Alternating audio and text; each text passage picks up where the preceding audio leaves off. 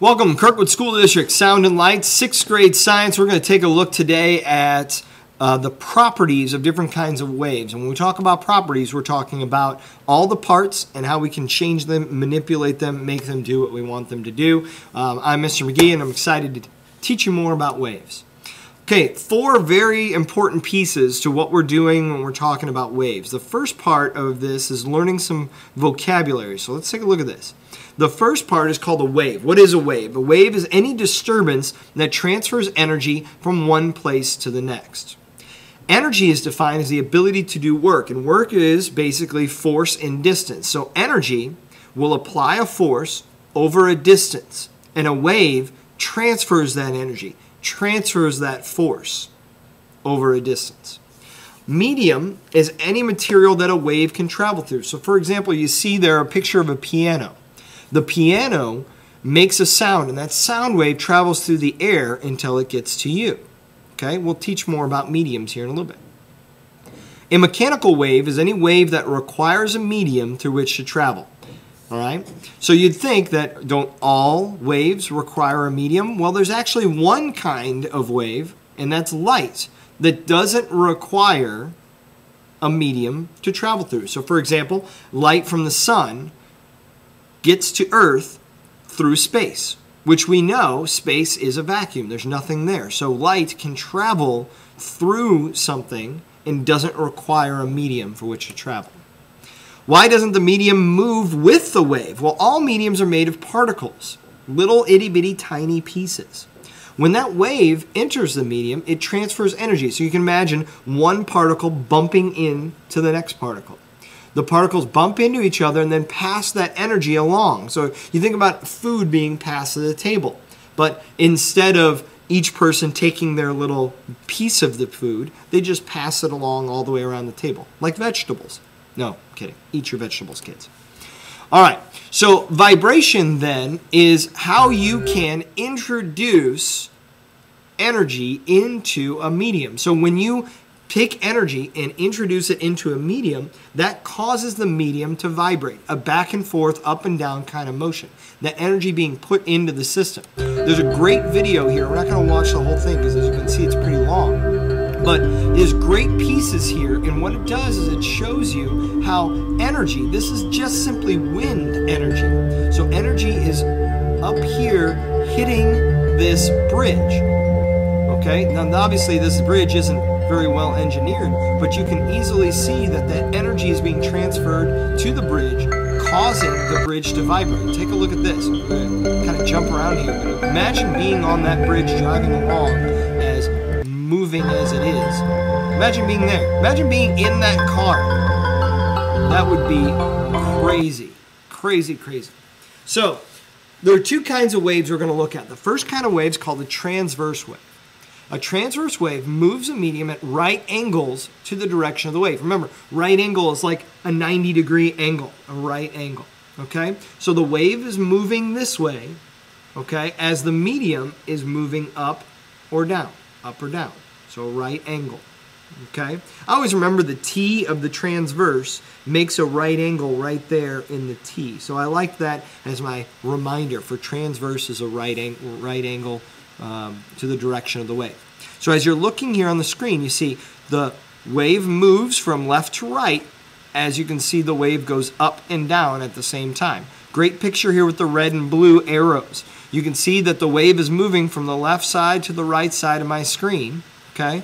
And I can see that that arrow is going up and down as well as left and right. We can see that the, the medium is moving at right angles, okay?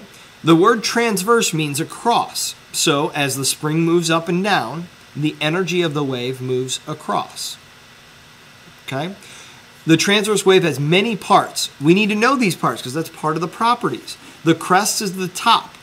The trough is the bottom. This line that you see going right across the middle here is called the rest position. Okay, so when this wave is at rest, it's right there in the middle. As you move this up and down, it creates a crest and a trough. The wavelength and amplitude we'll talk more about in a minute. So what we see here is a really cool video. We're going to watch this whole video because this video is really cool. And what it does is it just simply shows you how you can take a pendulum and you can create different kinds of waves. And this is an example of a transverse wave. And you'll get to see it move and change, and, and you'll see different crests and troughs, and maybe even wavelengths and frequencies and amplitudes. So check it out, it's pretty amazing.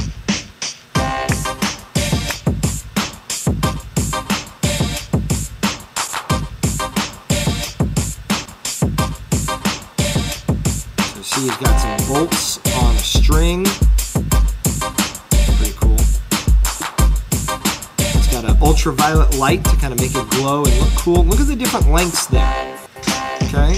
And what's going to happen here, think about it. If you've got a shorter string or if you've got a longer string, how is that going to cause it to move back and forth? And then how are we going to get a wave out of this? What's the energy going in? And what's the energy kind of transferring? It's pretty cool when you see this go. I love black lights. So neat.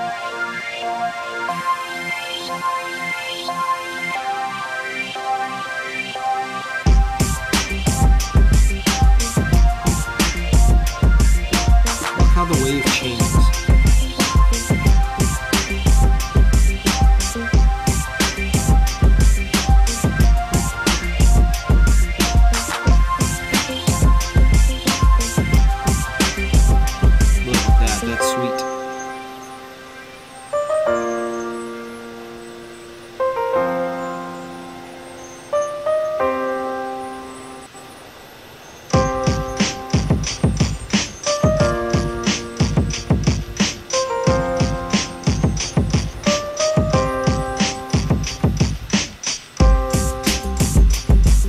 Pretty cool. All right. So the second kind is called the longitudinal wave. Wave that moves the medium parallel to the direction of the wave. So if you imagine, parallel means along the same lines here. So if I'm pushing a wave, that wave's going to travel in that same direction.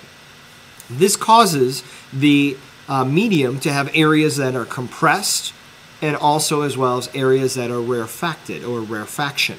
So there's compression areas and rarefaction areas. And that rarefaction area is where sort of you have a spaced out area of the medium, more of a relaxed area of the medium. And that compression is that actual energy being transferred throughout that medium.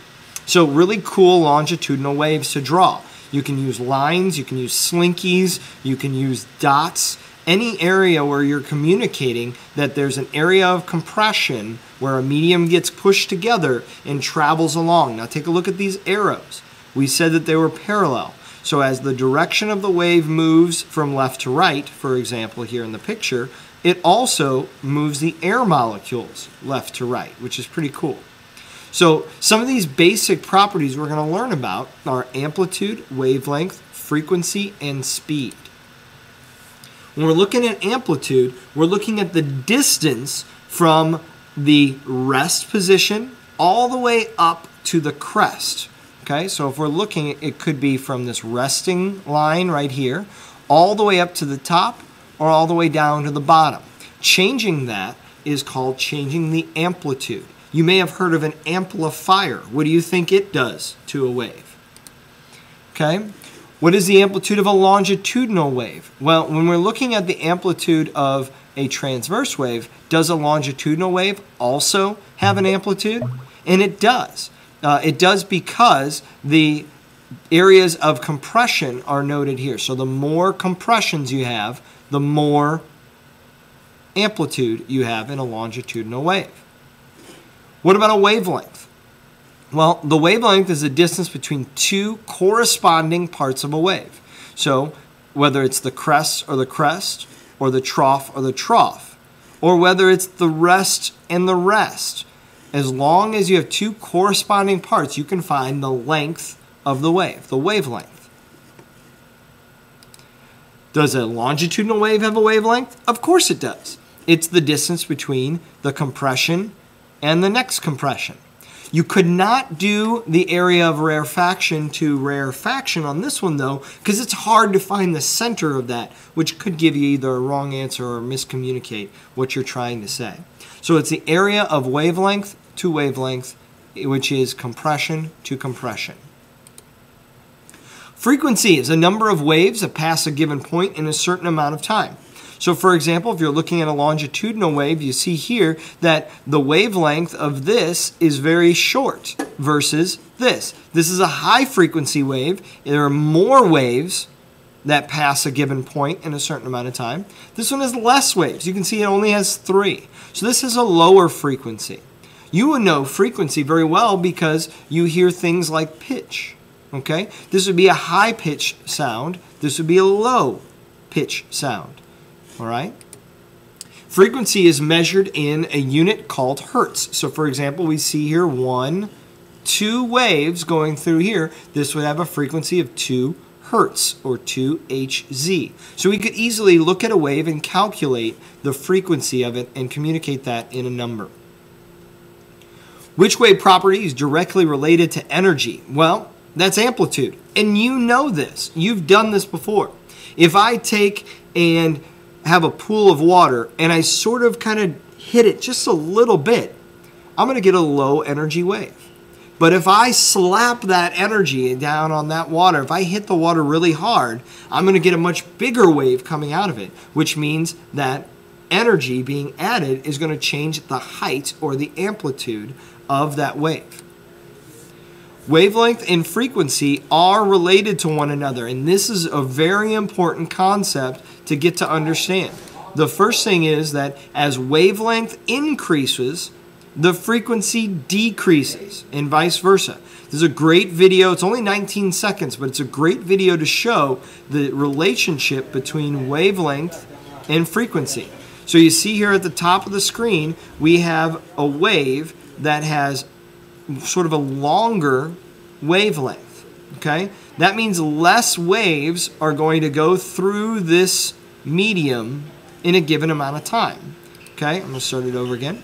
Here down on bottom, we have a high frequency wave.